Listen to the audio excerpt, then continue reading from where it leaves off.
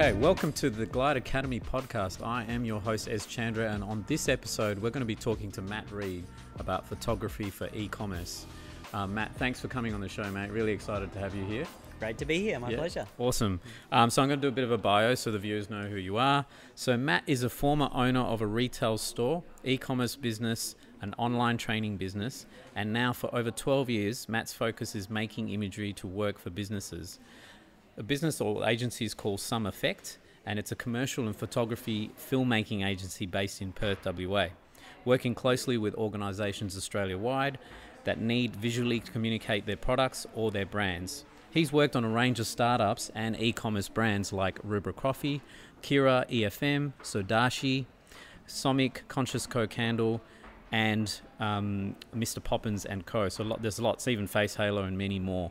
So together with the PR and communication agencies and advertising agencies, marketers and business owners, Matt and his team create photos and videos for e-commerce campaigns, websites, social channels, and even traditional channels as well. So Matt, welcome to the show. Um, we've got our first discussion points. We want to get started. Flat, flattering intro. Thank you very much. Job done. yeah, job done. um, okay, so point number one. So basically, you know, just tell us a bit of a story about how you got started in, I guess, the whole e-commerce business. Um, you know, I think you, you owned a didgeridoo, uh, you know, online store, which is quite fascinating. Yeah, it's Yeah. a it's a random one. So Yeah. myself and a mate, amongst other random ideas, were Yeah. learning to play didgeridoo at the time, Yeah. and and we got quite excited about it. And one of the ideas was, imagine if we could spend our time teaching people how to play this thing.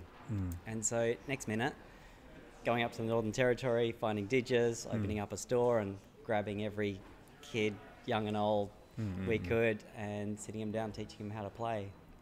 And I can't remember the. This was in 2002, long time ago. But from the get-go, we we knew it to be. We're into the instrument, we're into the music, and so Mm. we knew it to be a worldwide kind of um, focus as opposed to a souvenir on the wall Yeah, yeah. and and we didn't know what we were doing so you start trying to build a website and it was like FrontPage or something disgusting i can't remember the software but it was like Oh, it's FrontPage. Wow. yeah it was That's, just, that's taking it back. Eh? i think it's that was, it, Isn't was that mi- that was a Microsoft product? Yeah. FrontPage. Yeah. Microsoft, And- yeah. it was just anyway so I'm glad they got out of the website oh my goodness so in terms of selling digits online yeah. you need to take a picture so out come the little camera and you Mm. nothing but like when you start most businesses you don't know much about most things Mm. and you start learning about it Mm. And And, so we- did you have all the equipment back then? Did you sort of like no? You just started with whatever. yeah it was like camera? lean it there yeah, the camera that i take on holidays Mhm. take a shot Yep. and then crop it the background was still all in it Yep. it didn't look good Yeah. but it allowed people to see it and then which was handy Yeah. and unfortunately we had a shop front so Yeah. we had the face connection with people yeah, and people visiting all the time. So started selling them, but it was it was clunky, as in like people Mm. would fill out their credit card Mm. details in an email form, Yeah, and yeah. click send, and then we would grab that email and put it into the merchant machine. And, and I think there was quite a long, lengthy process in terms of checking out on an e-commerce website. Like it's not like now where it's all Oh, one it's step, two steps.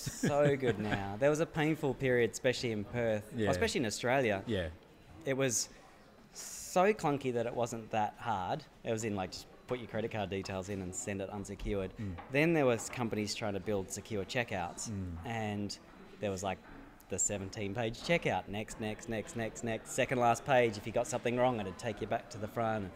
Um, And if you think about it, like if you wanted to go through that process, you would have really, really wanted that product. like- yeah, you got to be committed, Yeah, like fully committed.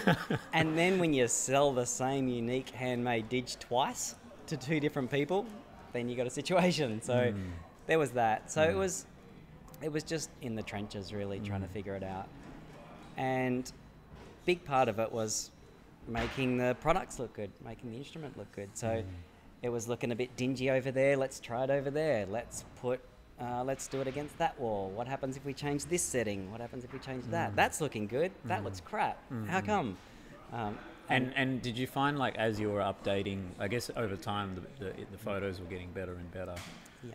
And did you find that you know you know conversions were improving on the website, sales were increasing every time you did a reiteration of a shoot or something like that. Yeah, they Yeah. did. And one thing I noticed is no, and still to this day, no one thing Mm. We've ever done has led to like exponential improvement. Yes, understand. Yeah. It, it seems to do this. Just little increments at a time. Yeah, I mean, that's but that's e-commerce, right? That's yeah, it, and yeah. that, and that's what it is. It's like a thousand little things. So tweak the product photography, it jumps up immediately. Um, but it, it's not going to keep exponential, and so then you add another thing, and it jumps up, and then you add a video, and then it jumps up, and then so it's like the more you can round out the experience. And I think like anyone that's getting into the e-coms game is, you know, even if you're working with agencies, it's like those small incremental steps that you take. It's not, it's it's the long-term game, and it's about the process as opposed to just getting quick results and um, you know quick sales results and things like that. I think people are always really into performance, and they want it instantly. You know what I mean? So yeah, I yeah, get quite nervous for people who want to launch perfection and Mm. it go really well. yep, It's like you're probably gonna want to make a thousand changes yeah, that's right. forever. Yeah, And so I'm a big kind of uh, continual improvement. Mm-hmm. Have a go, give it a crack, and then uh, and tweak and tweak and tweak and Mm. Yep. tweak. Yeah. Um, and I think you've been working with some big brands as well, like I guess um, across lifestyle images and things like that that you've sort of built over the years. Like you- Yeah. this is before you started your agency. You, you Yeah, uh, gained a lot of experience. Well, yeah. a turning point, actually, like the turning point for the didgeridoo business, which is still significant to me today, is during that time in business, I followed my partner at the time to the UK. Mm. She was living there, so I lived for a short amount of time in the UK, Mm. couple couple of years, and was still working on the Dig business, but I was also trying to live a life there. So Mm. I landed a job with a ski and snowboard and surfwear clothing and hardware company called Two Seasons, and they had Mm. a handful of branches at, or stores around the Midlands at this point, and they were they had a website, but they were wanting to fire it up, and I Mm. was kind of their web guy, and which was process the orders, get the stock from the store, photograph anything that we didn't have supplier images from. You did everything like the all rounder. Yeah. Yeah. and then I just treated it like my own business. So But it would have been you would have learnt so much. yeah, I learned about. SEO, and it's like okay, um, titles are important. and But so- even the back end of it, like how to run an e-commerce uh, Yeah. business, you Yep. know what I mean? and that's Yeah. and I'd only come from that kind of wiring, so I just treated it like here we go. How do we make this work? That's so cool. Yeah, I really like that. Yeah. And the big the big shift was while I was in that business, the big brands, which we didn't actually work with, like your Quiksilvers and your Roxys and your Billabong, they would send you campaign imagery every season. And so CDs at the time, in would rock in the CDs, and you would be able to pull out images of those board shorts on Kelly Slater in Tahiti on a massive wave. And there you've got the product image.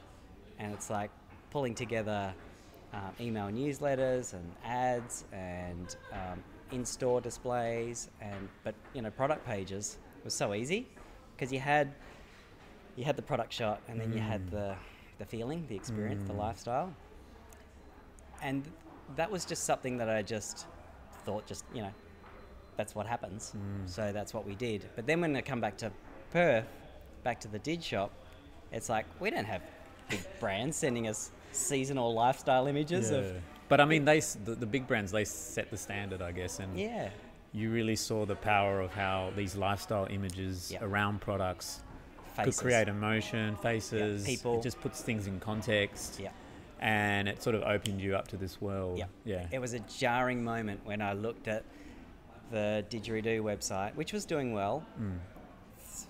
in uh, with the experience of the lifestyle website Mm. two seasons and it's like there's no people there's no life there's just all products and so we did an experiment it's like let's get a picture on every single page Mm. that's relevant to that page of a big smiley face we had a great crew good Mm. culture happy people and so I was getting better at photography at this point, and so we just made sure we photographed all the team, this way, that way, drums, flutes, and on the top of every um, of every one of the store categories Mm. was a fun, beaming face of one of the team in the t-shirt holding the product or using the product, and then that did another step change. Mm. But the thing that I didn't expect, and this is what I still pay attention to now, is the tone of the email inquiries changed. So there was a lot more, hey guys, come into Frio in April. I can't wait to come and visit. Hey Sanchi, what are you playing in that picture?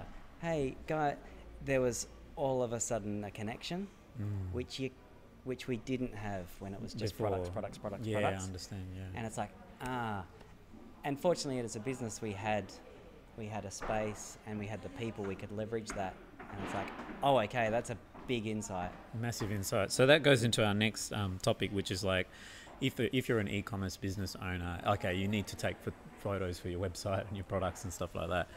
Um, how do you break that down so that people can kind of create focus in terms of their strategy for content production? yeah Yeah. So you've had you've got three points that you mentioned. yeah, Yeah. like we've and our thinking keeps evolving Mm. but at a, at the most if we're talking just ecom Mm. at the most basic level there's there's three kind of categories of photos there's Mm. classic ecom on white which is the shot of the product white background White background. Yep. add to cart button next to it Yep.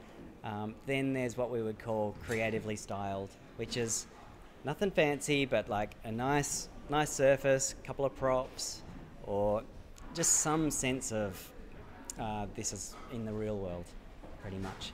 And then there'll be campaign and lifestyle Mm. imagery, which is, I guess, really communicating the feeling of having this product in your life. If if we flip that, and I, I just think about it like the buyer's journey, customer's Mm. buyer's journey. Mm. So you land wherever you're going to land, or you hear about a brand, you jump on the feed or on the website, and then at a high level, you want to get a bit of a sense about the brand. So that's Mm. where your lifestyle and campaign imagery can really kind of set the scene of who you're talking to here. Mm. Homepage. So nice shot of perfect customer out in the wild, Mm. drinking their coffee. Beautiful, setting the scene. Click, drop into a category into the website. And then typically with most websites there'll be a banner across the top, another Yeah. opportunity to communicate, and then there's the product shots. So then at that point I would drop down more into at the creatively styled. Let's let's bring the focus into the product, but we can still be a bit aspirational, inspirational. Mm. So we can still set the scene and, and give those give the page some feeling. Yeah. Yeah, I love that. Yeah. And then when you drop down into the product, it's like, well then then there's room for your classic on white. Which is Mm. if you think about it like um, inspirational, kind of aspirational, down to educational. Like Mhm. at some point when you're about to click add to cart or choose your size, Yeah. it's like, what am I buying here? Are there buttons on the back? Do I need another stand to hold that thing?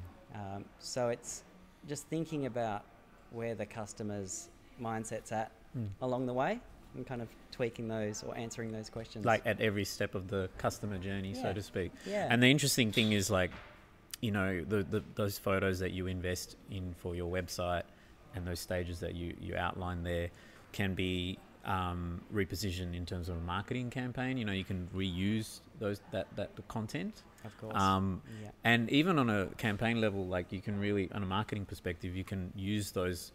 Um, you know, you talked about the context of having an environment or a lifestyle shot. Those sort of shots can be at the top of the awareness funnel. You know, the brand awareness, yeah, and then um, you know your product photography when you're getting into the finer details. That can be like your remarketing or your retargeting campaign because people have already come to the website. You're just more reminding them yeah, okay, hey, you left this in the cart, like, do you still want it? That Yep. sort of a thing. yeah. So I think it's all those three elements of what you mentioned is really useful for business owners to take to take note of. Um, but it can be implemented on a on a website level as well as a marketing level. Yeah. And often we'll we always think about. So there's two questions. What job does the photo need to do? I say photo, but it's photos and videos. Mm. uh, use that interchangeably imagery. What job does the imagery need to do? And then where's it going? Mm. Which will determine more technically are we creating a vertical image for a Insta story? Exactly, Or, yeah. or does it need to be cropped this way Yeah. for a web banner? Does it That's need to be both? There's dimensions and all that sort of elements as well so now. Yeah. Often Yeah. we'll shoot a scenario both ways so it can be fit for purpose. Mm, mm. That's something that's in the last few years like pretty critical Mm. to be aware of Mm. before you take a whole bunch of fancy photos that don't fit in the spot where 100%, they need yeah. to go. Yeah. Um, I also wanted to talk about like, um, you know, particularly from a marketing perspective, um, the brands that we get to work with are the, the most fun ones and the ones that we feel like are the most results are going to get the results are the ones that have that that why they know who they are um, and so when you create the awareness strategy because people always go like you know got to push that product and get the brand awareness but if they know who they are it just makes your job so much easier doesn't it so yeah i was wondering if you could talk to us a bit more about that and your experience in that yeah, Always looking for, I would call it the heartbeat. Mm. Like, what's the. Um, another example is, say, web copy, the about. What are you about? If you can get that to the point where you can articulate who you're about Hmm. or what you're about in a way that if you took your name out and someone else's name in, it wouldn't make sense anymore, then you're starting to get to the essence Mm. and and that's tricky. That's really hard, and and it'll always evolve. But it's it's good to know that because if it's like, oh, if that's the thing, um, a guy Denny who works with us, he calls it the red wire. So it's like the red wire that runs through that everything needs to clip to and hang yeah. together. If you can find that. the red wire that's a good analogy I yeah, like I like that, yeah. I like that Yeah. heartbeat or red wire, and it's like the, the thing that everything needs to clip to, sort of thing. Um, Mm. That's that's valuable, and then you want to make sure that comes across in the imagery. So is that is that part of your I guess your briefing process? Like you try and really understand what that heartbeat is of, of that business. Yeah. Yeah. and usually it's in conversations like this. Usually, if you ask ask the question, Mm. you get a generic answer Yeah. or um, something that's uh, crafted, Yeah. something that feels like marketing. Sure. Sure. But if you chat it out, Yeah. there'll be a thing like it'll normally fall out of a Can conversation. you can you give us an example of one? I know I'm throwing you on the spot, but yeah, I mean, a couple of different ways. I'll give you two examples. One, not ecom, Mm. because often it can come from, um, like, good inspiration can come from something Mm. outside, and then an ecom example. And then also a different way to think about it. So instead of trying to come up with the perfect sentence or the perfect USP or that sort of thing, there was a restaurant that we worked with for some time. They were plateauing, and we needed to like fire up the, the love, get, um, and that was all through marketing, Insta marketing. And so we went in there, and then we got a sense of there were like different buckets. So think about it like buckets. One of the buckets was whenever we went in there, some random grower would come in through the door with a box of produce with things hanging out and it's like that was beautiful and that was a regular it's just a daily thing it's like Mm. that's a bucket that's a real point of difference that i haven't seen in many other places another bucket was music and so there was live performance venue so there was music there and and music has a feeling straight up and so it just seemed to be in the place so it's like okay another bucket is the music it's good good to capture that visually as well. yeah, and then and so kind of step one was come up with the buckets, Yep. and then when going about creating videos and imagery, then it's like fill the buckets up. We need some. We need that feeling of like in comes random farmer walking through the door with produce, for real, and it like happens. It's like oh my, that's gold, and Love that. I love that analogy. The buckets. Yeah. I mean, it's. I guess it's similar to like with social. They have content pillars, yeah, and the content pillars are like strategic pieces of content yeah, that you're creating to target an audience. I guess. But what your, I think yours is more like what are the golden nuggets of that business? yeah, You know, it's not so much content pillars. It's more like what are those key pieces of content that Yeah. people are going to go, oh, that's really unique. yeah. You know. Um, And it allows you to tell a rounded story Mm. when you start. Say, if we talk about the feeds we're now Mm. in, where there is volume of imagery, it'll, if you're like Mm. ticking your buckets as you go, then you're telling the full story of the business. Mm. And I guess that's um, photography is really about storytelling, isn't it? It's like really understanding that why and the purpose of the brand, how it started, what's involved, what's the dynamic of that brand Yeah, or the service. In that case, is a restaurant. Yeah, So, yeah, I think it needs to kind of really tell like a bit of a picture, so that Yeah. pe- when people visually see it, like it's five seconds nowadays, yeah, uh, you got someone's attention. yeah, So you just need to really make it quite quick and snappy. Yeah. Yeah, exactly. yeah. And then another example from a so ecom wise, and now from a consumer Mm. perspective, is there's a company called Grove Made, G R O V E Made. They're in Oregon, and I Mm. don't know how I come across these guys, but um, they they basically make desk accessories and monitor risers and just like really beautiful. I saw some imagery and then just fell in love. I had a quick look at the website, and then they're just a bunch of like creative people all in a workshop making beautiful image like making beautiful products Mm. and it's and then flicking through and you watch the little video and then you see the faces and you read about a few people and then you drop down into the products and they're like beautifully made Mm. And Craftsmanship is yeah, and it's like I, as a consumer it's like oh these feel like good people making really good really good products and there was a what got me was that they have nice room sets room um, shots of desks and rooms and this is how your workspace could look and i Mm. saw that it's like oh i love the curves in the yeah. monitor riser. And so, um, you know, you could buy something way cheaper, way closer, and have it today. But Mm. it's like, no, I'll save up for that. And I got that thing, and it got shipped, and it was, you know, Mm. a couple, here in a couple of weeks. And and I've bought multiple things from them over the years. And whenever I go back and look at them, they really tell that story of here's the people making the products, Mm. here's the process behind it, here's the beautiful places that their products go in, that I aspire to in this case. And then when you get down to like, well, here's the products, Here, here's them without all the bells and Mm, whistles, mm. so you can make your choice. Mm.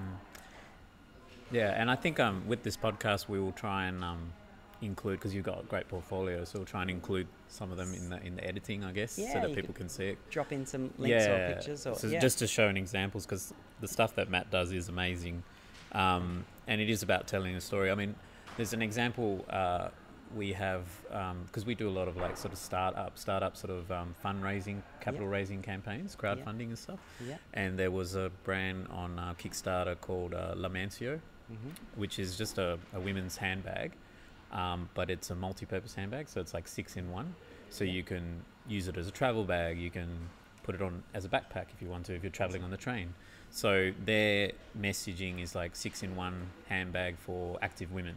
So women that have multiple purposes for their handbag, because often you know, like you catch the train, and then you come into work, and then you're in work, and then you're going somewhere else. Yeah. So you want one bag that kind of Yeah. encapsulates everything. Makes sense. Um, and that that's about telling the story as well. So they really invested in photography um, for their Kickstarter campaign, and it almost tells the story of how it works.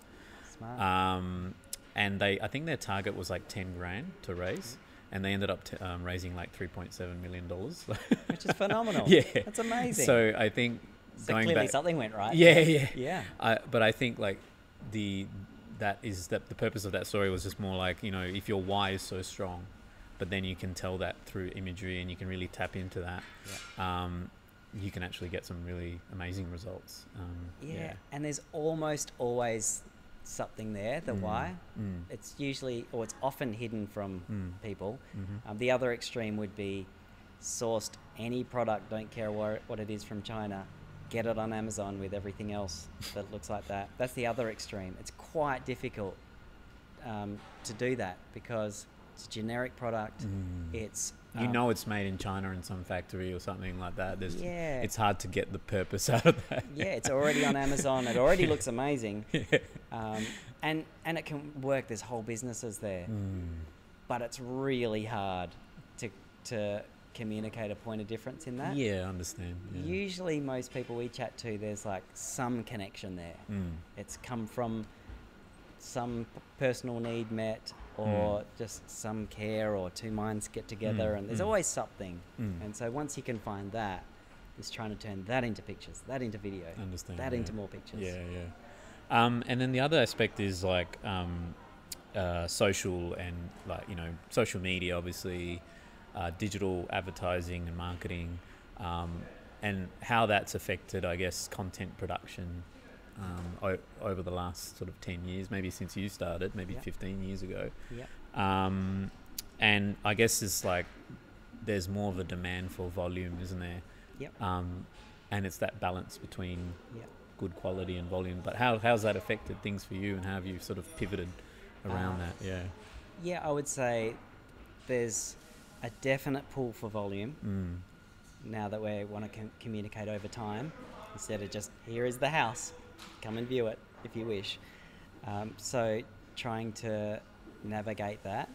Um, also, which is actually a good thing because you don't have to obsess about getting it too perfect because Mm. you, you're going to have many goes at it. Oh yeah. Um, so yeah. That's one thing that's quite crippling for creators and Mm. crippling for business owners Mm. is like trying to make it perfect. Yeah, I mean, I. I, I think a good example is like we've just um, signed up this client, and when we sign up a client, we sort of say to them, look, you know, send through all your assets so we can review them, just so that we can see what we're playing with to Mhm. the to do the ads. Yeah. Um, and she was sort of like, oh, well, here's a video, you know, that we've done. What do you think of this video? Yeah. And uh, so we watch watched the video, and it was it was fine. It was okay. But I was like, that's just one video. Like, you know, we need another twenty of those. Like, Yeah. so it's like, so we're always hungry for volume. Yeah. And I think, whereas what you're saying is brands are like sometimes a bit fixed on that one video. Like, what do you think of this video? Yeah. Um, And it can go both ways. Yeah. Like we're, we're like, what? You need 20? yeah, Oh my God. we're going to pour our life's work into one. It's Yeah. like, how could, it, how could 20 possibly is good? And so there's, there's a tension there. And, but that's, that's what kind of the market needs. Mm. And, and so we struggle with that mm, for sure, the quality quantity. mm, It's, there's like this, the quality curve. It's the diminishing curve. As time goes on, or as the volume goes up. Yeah, it gets less better. so, and then actually, uh, my mate who I started the didgeridoo business with, he said because we were like putting so much effort into like polishing perfect and like mouthpiece awesome back, and um, and he's like, we'd spend all weekend on this thing, and on Monday morning it sells and it's gone. He's like, if Mm, if people's expectations are here, mm, it's okay to be here. mm. You don't need to have it here. Yeah, that's right. Like eighty percent is better than hundred, Yeah. so to speak. Yeah. Which is controversial yes. to people, to business owners, because you're saying it doesn't need to be perfect.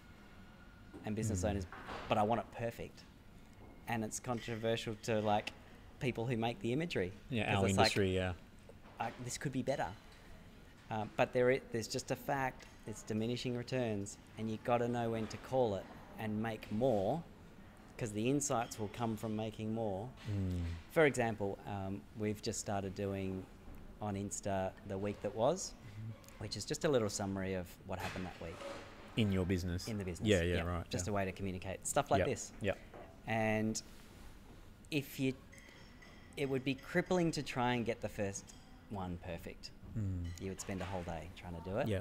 But if the if if the philosophy behind it is like, well, it's going to be every week, by like the tenth or fifteenth time, we'll have a pretty good idea about it. So let's just start Yeah. and give it a crack, Yeah, yeah. and then we'll learn so much along the way.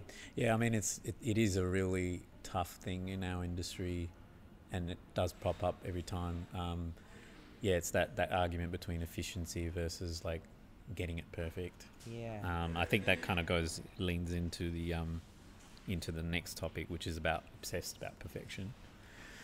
Um, and you know, yeah, you, we we see it all the time. Like, you know, is it worth having a meeting to discuss the different color variations, or maybe we need a better font or something like that, or should we just get the campaign out? Let's just see what it goes, you know, how it goes yeah. and you know we could be like arguing about a color when that color is not even like relevant for example or the photo that you want to use Yeah. doesn't it's not getting the sales Yeah. do you know what i mean so And it feels like the the foundation to that is trust.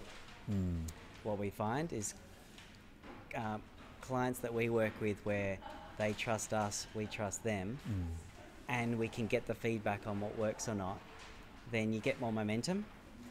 There's less like absolute of we can like, well, let's try this. We've done these safe ones. Let's take a risk on this Mm. and try it. Will you Mm. test it? Yeah, we'll test it. mm, If it works, great. Just unlocked a new mm. thing. And if it doesn't, no one's going to die. Yeah, exactly. And yeah.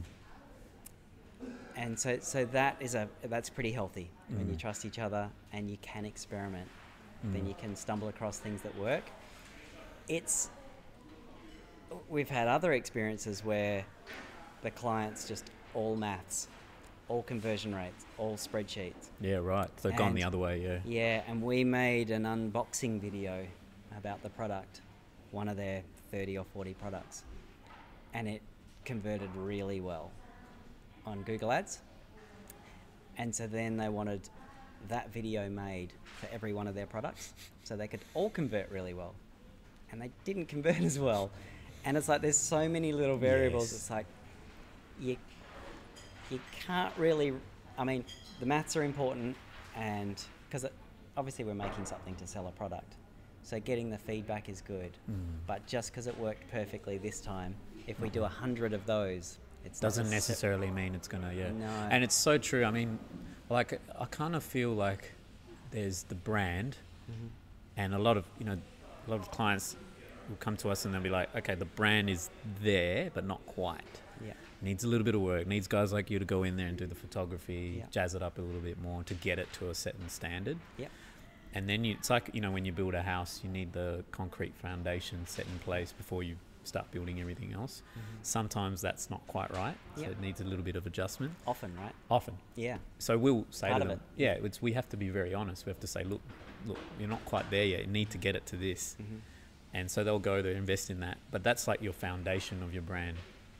But i think sometimes people emphasize too much on the style guide the foundation and then that is the set piece and there's no leeway around it but i think moving forward like especially in the digital age um, in the next five to ten years there's the foundational brand but then there's brand evolution which Yeah. is like okay well that's my brand okay that's my base template but then in the next six months to a year it's going to have to evolve slowly and that'll depend on feedback like what you said Yeah. which is like oh that unboxing video was great for that Yeah. particular product but then you could use that same unboxing video for another product it doesn't quite work or even the ad types you know like you've got canvas ads Yeah. and videos and photography sometimes photos work really well Yeah. and the video doesn't hmm so how do you you know it's things that you can't quite explain but you just got to test and trial different things right Forever. Yeah. Yeah. it's yeah. it's a, it's forever Yeah. it's a forever approach yeah Yeah. For us, when we when we've just figured ourselves out, Mm. then we evolve, and then we got to refigure us Mm. who we are again Mm, now. So mm, it's mm. like I think, and it's kind of liberating it is Um, yeah yeah because because it, you can evolve, and the one thing I've noticed with imagery is the market's definitely evolved. Think Mm. about most things actually, like Mm. um, fashion ecom. Australia's still not there yet, but overseas, like in, um, Europe, it's not so cool to retouch skin anymore. yeah right yeah Like they Uh, need to yeah. look, they I know what you mean. You need to show the stretch marks and Show the all the stuff. yeah, all show- the imperfections. show them human, Yeah, that's and right. even like show marks on the set. Yeah. And, and whereas not too long ago, especially in Australia, perfect. It needs to be perfect, cut out, skin flawless, not a wrinkle in the garment, and so you really polish the life Yeah. out of it, which worked back then, but now it's not cool anymore. And products are similar too. Jewelry, massively. Mm. It's like not that many years ago. If it looked like a render, if it was perfect and like all the lighting's making it sparkle and everything. perfect, yeah. yeah, then um, that worked. But now, now we're finding, and this is where brands, jewelry brands, are having to evolve. Like, oh, actually, like seeing im- imperfection and shooting it on a surface Mm. and not having it cut out on white. But it's that it's. I think people are expecting that just a juxtaposition. You know, like between something that really looks okay. What is it Yeah. meant to look like when it's polished, and what is the actual Yeah, thing look like? And that's what social media's done. yeah, because it's like created this um, platform where authentic content is really important. Yeah. Um, and I, I think particularly like it not Instagram created this glamorous sort of Mhm. everything's picture perfect. Yep. Um, but then TikTok came along and just sort of said like you know this is yeah, yeah. this is what it really looks like. yeah. So that's um, the whole user generated content thing, which is like just people influencers creating their own videos with no lighting, nothing, yeah, and just testing and trialing products and you know yeah. um, and people believe it and people it's are real. Like, yeah, people Yeah. are like, oh, that oh, so that's what it actually looks like when you open up the jar or whatever it is Yeah. and take it out and put it on your hand. Um, people want to touch and feel it, and I think if someone's doing that, it's almost saving them the trouble of having to buy it. You know, and all that sort of stuff. So There's definitely that movement. Like, bef- Mm. not. So when we first started, you want everything to look like untouchable, intouchable, whatever word it is, like an ad, Mm. like just amazing. And now the imagery just needs to look real and touchable Mm. and tangible and textures and and um, smears and yeah, like that. We want to get. 100%, yeah. We want to know what it feels like in Yeah. real life, so we know what we're getting. because um and also like it's a representation of like transparency like people Yeah. want to know like if you're asking money from a customer you need to be honest with them and upfront like this is actually what it looks like Yeah. this is what people have said about it you know so i think that honesty and transparency is really key so yeah i think you know i think perfection is important to to a certain level but there's a balance Yeah. and I guess for a client or an e-commerce owner, it's working with agencies to find that balance uh, to make an effective win-win type situation. Yeah. Yes. Yeah. Yeah. So- And and to just both trust each other and like figure it out along the way. Mm, That's it. mm, 100%. Yeah. Take, takes the pressure out of the situation. Um, the other aspect is, you know, um, we talked about like images on their own, and I guess this is more around brand as well. And um, like photos on their own, just you know, they, they need things like web copy and good design elements Yeah. and stuff like that for it to all come together. Yeah. Yeah, just maybe if you can tell us a bit more about your experience around that. Yeah. yes. Um, I would say, especially in ads, Mm. especially on websites, the copy is really important.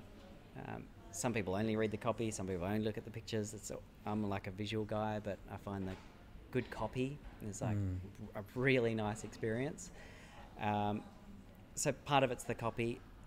In general, when what comes to mind when you say that is execution, as in where every photo or video we create is going to live somewhere. Mm. So it doesn't matter if it looks awesome on our screen. If it goes to work and it's not used well, Mm. then you don't fully realize the value. Mm. Banners nicely cropped or um, up, you know, cropping a 4-5 instead of a square because then, you know, a bit more screen Mm. um, with the uh, um, screen real estate. So from, and this is where I see the difference when we're, because we work with people like yourself who are very image savvy, savvy, and then people who are in startup mode, um, solo businesses who Mm. just don't even know how to crop an image. Either's fine, but you, really want someone to know what they're doing with imagery Mm. to actually put them into application. Often, and we tr- we try and like make the, the imagery as user friendly as possible. But if we're say if we were supplying a photo to you Yep. or any designer, if we took it with like nice negative space, we know you can crop it like this and get a detail. We know you can pull a banner out of it and put some Mm. text here. Mm. Um, you can go story. There's enough room. On its own, there's kind of photos within it Mm. and, and so we'll take it like that. But if we're handing it, often we'll like hand it over, and then it gets used over here, not purpose for over here, and it's like, oh, it could have had so much more impact. And do you find that when that happens, like, is it because the people that are doing that don't have much experience from a marketing perspective or a digital digital perspective? Oh, probably, probably, um, and it's like imagery perspective. So, so yes, but it's more like Mm. ask me to um, stage a room with furniture, and it's like I struggle a little bit. Um, and so some people, if you told them like the crop's a bit out, they'll be like the what? Mm. And so everyone has their strength. Mm. And I mean, designers will like agonize over a pixel. Um, Oh, our yeah, designers who, 100%. who we work with, Yeah, she's yeah. like, I think, uh, just, let- just let me. And then here's the new version. And it's like, whatever helps you sleep at night. Yeah, yeah. But it makes a difference. So Mm. uh, working with people who can see it Yeah. to purpose it. I mean, I think our designers, um, you, you definitely can tell from a designer's perspective, it's really nice to have great content for post production work because post production is now like a different phase. It's like just as important, which is working with a bank of assets which you can constantly reuse, tweak, Yeah. Crop, you know, Yeah. move to different platforms, dimensions, and stuff like that. So if you've got that really good quality asset, Yeah. um, where you can just constantly refer to, Yeah.